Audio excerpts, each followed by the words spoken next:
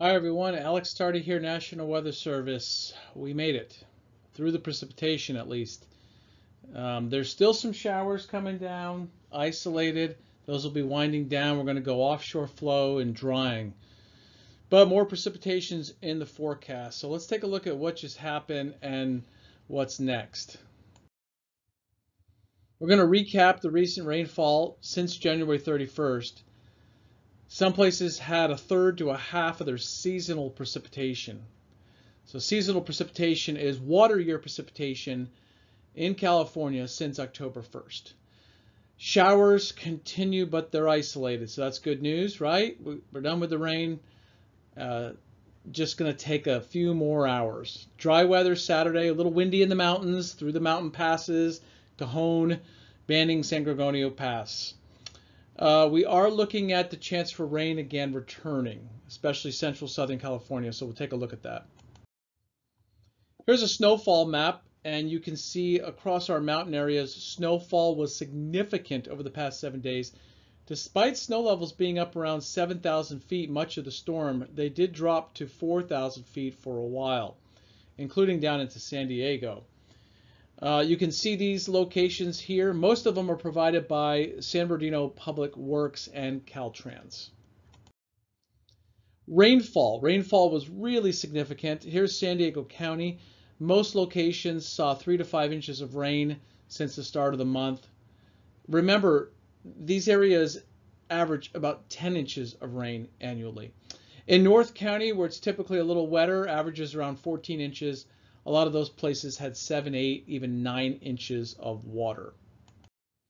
If you look further north, Inland Empire, and then all the way out to Palm Springs, you can see quite a bit of rain uh, fell across the Inland Empire, but it ranged significantly. Even in Orange County, we had locations up around nine inches of rain.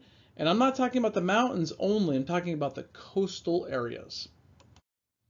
If we go further north in our area, the San Bernardino Mountains and the San Gabriel Mountains, really stands out 18 inches of water in the mid elevations of Lytle Creek. So we typically do see some of our biggest precipitation totals, not on the peaks of mountains, but the mid-level elevations.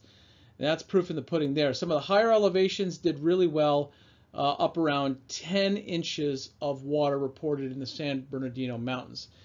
You can also take the snowfall amounts and divide it and find a ratio for the snow. A lot of the snow was very wet uh, for a good portion of this storm and also had a lot of snow graupel when the storm became really cold um, midweek. There's also a network called CoCoRaHS, which you can participate in. CoCoRaHS is a volunteer network. You go outside every morning at 7 o'clock. That's what I do. Four inch rain gauge, I purchased it, I measure it, I report it on the app. Uh, you can see some of the totals here matched up with the automated totals.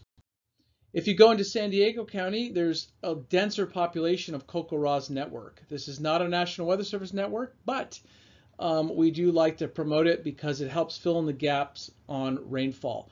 Again, these are human reports.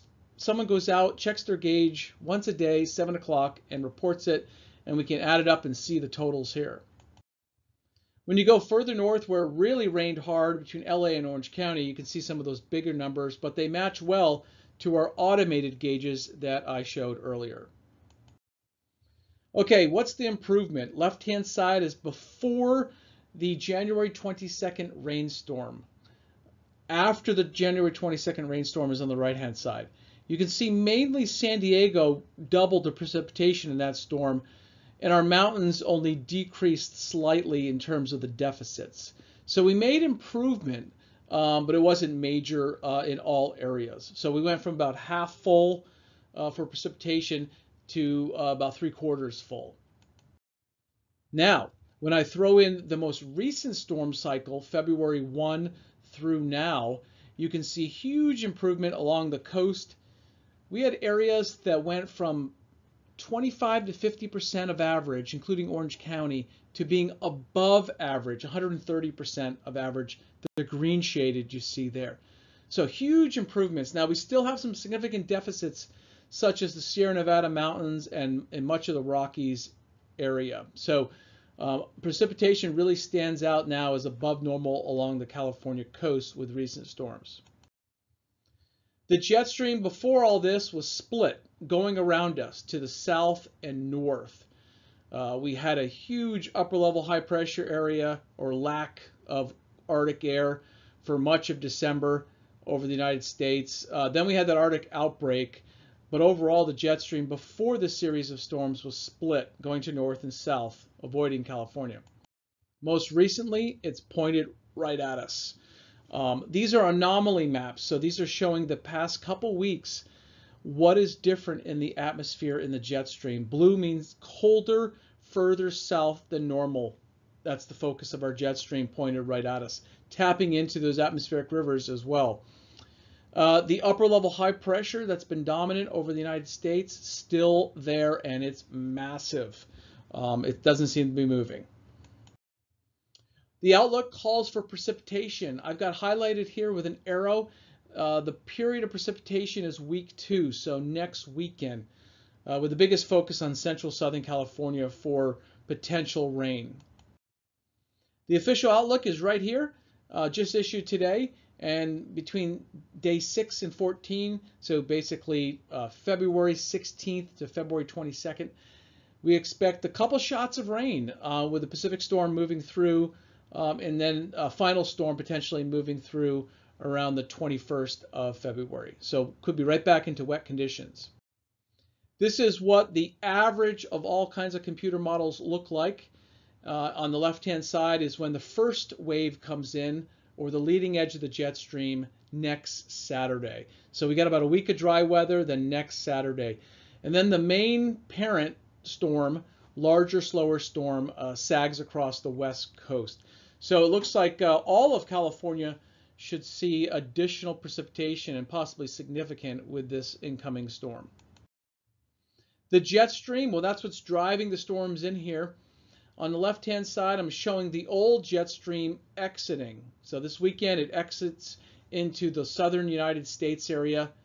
Then a new jet stream, very strong winds up at 30,000 feet, is forming this weekend over the central Pacific. That'll weaken a little bit and split a little bit, but the majority of that will track across about 30 to 35 north latitude and move towards San Diego next weekend as I'm showing here on the right. Quick recap of the storm that we just had, about 30 to 50% of our seasonal average. More rain is coming, but we've got some dry weather coming up through next week. A little bit of wind this weekend, otherwise dry and a little bit milder conditions for Southern California. Thanks for tuning in, everyone. Finally here, a quick look at the tide forecast. This is for La Jolla. Our king tides will be slowly coming down this weekend. And if you're curious about the snowpack I mentioned in the Sierra Nevada, uh, as of yesterday, it's about 75% of average. I put a fun fact on the screen here that also shows um, the difference between last year and this year. Thanks, everyone.